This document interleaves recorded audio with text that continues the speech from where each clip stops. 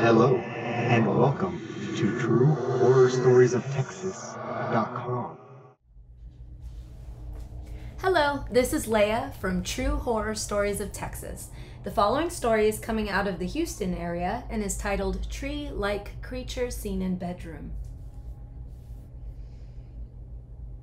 About five or six years ago, I was living in Houston with my parents studying for the bar exam. I would get up every morning at 4 a.m. to go run about five miles before starting my long days of studying.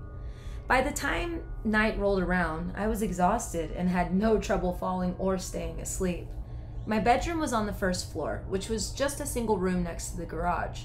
The second floor is where the kitchen, dining room, and living room were, and the third floor is where the guest bedroom and my parents' rooms were located.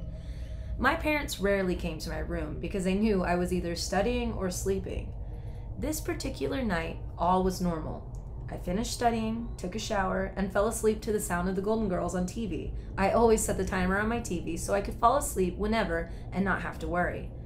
Well, later that night, after dozing off, I was woken up by the sound of someone breathing heavily.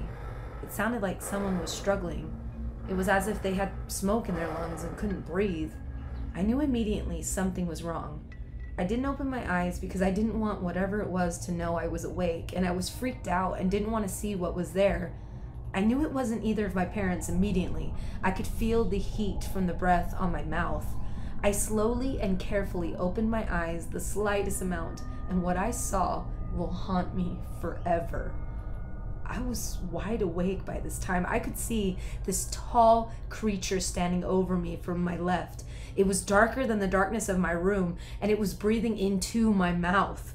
When I got a good look at it, I was even more terrified. It wasn't your normal everyday figure. It looked like it had tree branches growing out of it. It had branches coming out of its head and its arms. I can only explain it as looking like an evil Groot from the Guardians of the Galaxy, but I hadn't seen the movie at the time, and whatever was in my room, I didn't want anything to do with it.